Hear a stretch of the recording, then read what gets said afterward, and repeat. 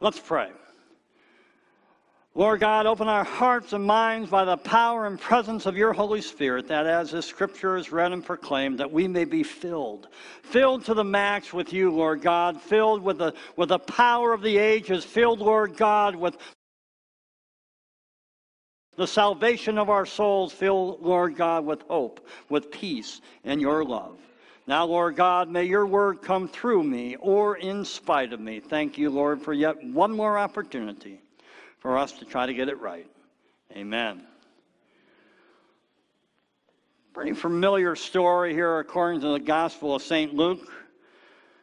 Conversation concerning two sisters. Now, as they went on their way, he entered a certain village where a woman named Martha welcomed him into her home. She had a sister named Mary who sat at the Lord's feet and listened to what he was saying. But Martha was distracted by her many tasks. So she came to him and asked, Lord, do you not care that my sister has left me to do all the work by myself?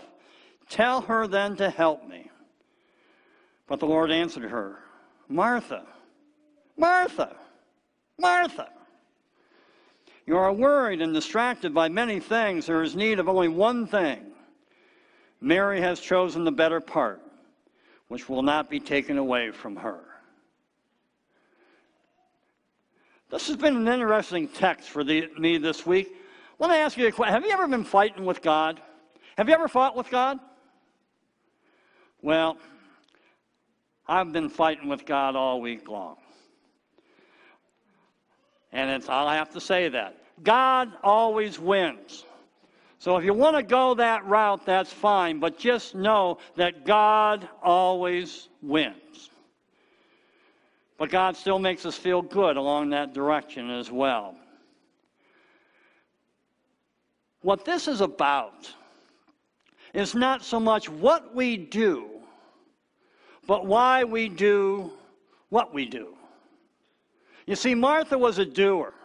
She wanted to get things done. She may have been the type to clean a house two weeks prior before any company came, only to see after a week that the house was dirty again and had to do it all over again. But she wanted to make sure everything was just right because there's nothing better than being a good host and having everything just perfect. That's who Martha was. Martha was a doer. Nothing wrong with that. We need Marthas in the world, to be sure. But she was all about welcoming Jesus and probably a whole cast of folks into her home. And she was all about doing the tasks that were set before her. I envisioned that she had a list, and she stuck with it. She probably had post it notes all over the place. She had her, her cell phone on, and, and I have a post it note too. That's what my problem was with God all week. I said, God, what's wrong with post it notes? I have a list for everything, you see. I have a list for what I'm going to be doing the next two weeks. I have a list for what's going to be doing tomorrow and next week. I have a list for Pastor Mar. We're going to talk about tomorrow morning. It's not a very long list, Mar. I promise you it shouldn't be too bad this week. But I have all these lists, and I thought, God, isn't that what you want us to do? Don't you want us to do your work? And God kept saying, you might want to rethink how you do things just a little bit. Martha was a doer. And Martha looked at a little sister, and the Bible doesn't say whether a little sister or not. I have a little brother, so I can say a little sister. A little sister wasn't doing anything. And so the big sister went, went to the little sister and said, you got to help me. You got all these dishes to do, all this stuff. Now the big guy comes, and, and Martha asks Jesus, Jesus, you're the boss. You tell my little sister to help me. And, and that's when it happened. Martha. Martha. You know God is serious when God says your name more than once. Martha. Martha. You are distracted by your lists. You are distracted by what you're doing. And you forgot the most important thing in all the world. Mary has chosen the right way. Mary has chosen what is best. You see, God wants more than anything else in the world a relationship with us. God wants more than anything else in the world the opportunity to come to get to know you more than anything else in the world. Yet sometimes we become so preoccupied with our tasks. Sometimes we get so involved in what we are doing that we forget about our whys. In my conversation with the veterans here this morning, they did what they did. That is what you do, what you continue to do is witness for the Lord. But I also have to know why you do it. I mean, we are why you did what you did for the nation. But now you're out and you're proclaiming something even more profound. Because what you are doing and the whys are awfully important. The why is that God wants us each to witness this good news, this thing that cannot be taken away, this precious gift that is so important in everybody's lives that God is saying, get out. Get to know the people. Tell them about me. But first, come to know me a little bit. But so often we don't take the time to do that. I'll have to confess, I've had, this is only the second confession and the last one I promised because it's getting close to lunchtime. But I used to tell God, I said, God, I can get into a good relationship with you while I'm doing dishes. I can get into a good relationship with you while I'm cutting the grass. Somebody did tell me they can hear my preaching on the lawnmower. I thought the, I thought the motor would kind of drown that out, but that's not the case. Just FYI, if you Have. I said, God, I can, I can get to know you a little bit driving around and talking to you, and I can, I can get to know you a little bit. But God kept saying, No, I want a little bit more. What's your name? Rick? I want to be your buddy. Rick? Or T Bone? Chaplain T Bone. Chaplain T Bone. Chaplain T Bone Rick. No, I'm going to stop right, right there. Right there, I'm going to stop. Okay, so Rick, I want to be your friend, but I start walking away. That doesn't make any sense, does it? If I want to get to know Rick, if I really want to get to know why he is called T Bone, or his calling that God has placed upon his soul to be a chaplain to this group, I have to talk to you, don't I? I have to get to know who you are. And you have to get to know who I am. In fact, you want to do that, and I want to do that. That's what a friendship is all about. But if we don't do that with God, guess what? We don't know God, do we? We don't know what God has uh, as planned for us. We don't know any of that stuff.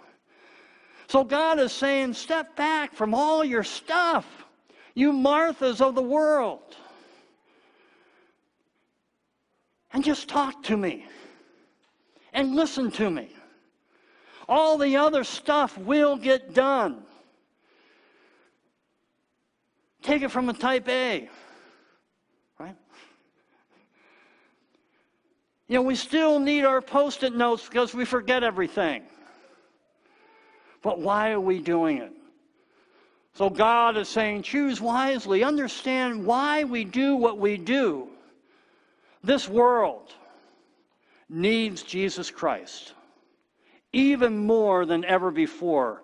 The world needs the church to be the church. And to be the church, we need to go out beyond this place. And that same intimate relationship that we have with God, we need to share that with somebody else because they need that same relationship. Somebody said, Well, how can we have an end to all this violence and all this insurrection and all this hatred and all this stuff? Well, maybe the people of God, if we stand up, and we say, This is the way to live. This is what it's all about. That's what God wants. Take a look at the Bible.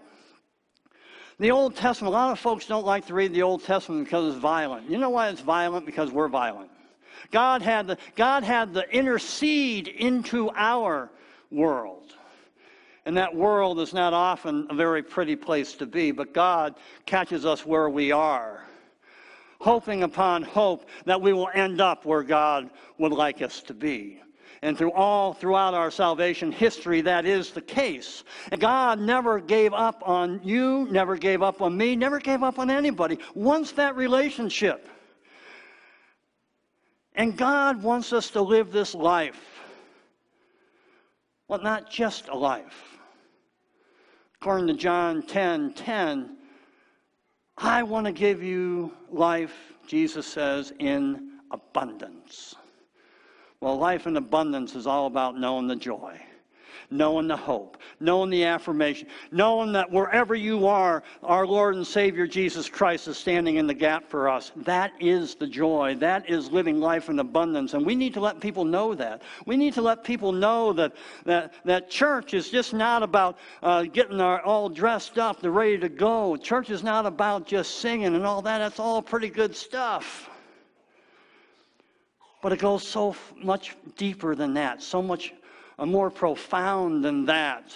See, Martha was kind of scratching the surface. Mary just stopped and sat at the feet of the Master and let the Master speak. Sometimes we do that through Bible study. Sometimes we do that through worship. Sometimes we do that just by sitting around with a cup of coffee and a, and a donut or, or a bowl of fruit, which would be a lot healthier and we talk about things of God. And when the people of God start talking, you know what's interesting? I go down to my office down the street here to Panera's, and we start we start talking there once in a while. And and and and you know what I'm seeing? Our our ministerial group meets there uh, second second Wednesday of every month at 10 o'clock. I'm I'm seeing people listen to us. People are listening. People are hungry.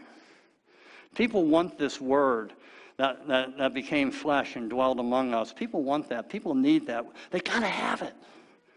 They got to have it. Jesus won't give up on us either. One more story, then it's time for lunch, is that when Jesus uh, was resurrected from the dead, he gathered, he came through a locked door. And he gathered with 11 disciples and said, Peace I, I leave with you, and breathed upon them the Holy Spirit. The only person wasn't there was Thomas. He was out playing golf because it was Sunday morning and he wasn't there. Well, he came back, and, and the disciples told him uh, what had happened. He said, I don't believe that. Until I see the, the, the holes in his hand and in his side, I'm not going to believe that. But Jesus didn't even give up on Thomas, came right back and said, Thomas, Here's the holes that you put in my hand. Put your finger through. And in the side. Jesus wanted Thomas to be a, in relationship with him so much that he came back a second time, and I bet you he came back a third, fourth, fifth, sixth, however long it takes. So, how do you do it? Just stop every once in a while. Take 10 minutes and then it's going to end up with 15, 20. You ever talk with a good friend and you just keep talking? Just put down what you're doing for a little bit. If you have to stare at the wall, stare at the wall. Be in relationship with your Lord and your Savior, who wants more than anything else to have a relationship with you. Take the time. Just do it. Do the dishes too, but but but be with Jesus, the Christ. And when you do, you're going to be blessed beyond measure. You're going to know the why to the what. The why is always Jesus Christ. And the what? What we do is because we have a relationship with Jesus Christ. And why we do it?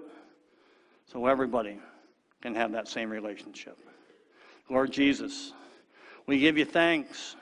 For the calling you've placed upon each of our lives, Lord God. We give you thanks, Lord, for, for, for kind of calling us to task every once in a while when we wrestle with you, that it seems like every day, Lord God, that you always seem to win, but you win for us, Lord God. Keep us in your stead. May we step back just a little bit from, our, from the haste of our day and, and, and our calendars that seem to be uh, always filled up, and just have us take the time to be with you, Lord God. Uh, fill our hearts, fill our souls with that power in your presence. In Jesus' name we pray. Amen. Amen. You know what? I